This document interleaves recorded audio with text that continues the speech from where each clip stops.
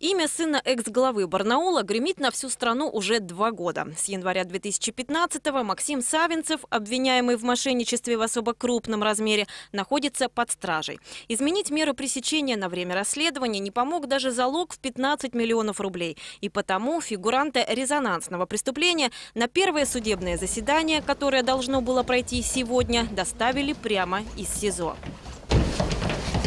Здравствуйте. Савинцев-младший, как и его адвокат, держится спокойно. Заседание по нашумевшему уголовному делу решено провести в закрытом режиме. Впрочем, сегодня оно так и не состоялось. Из-за неявки всех потерпевших суд принял решение слушание не проводить.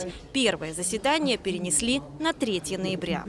Ущерб от совершения данного преступления э, исчисляется э, суммой свыше 19 миллионов рублей. Санкция данного преступления предусматривает э, 10 лет лишения свободы э, по каждому из составов преступления.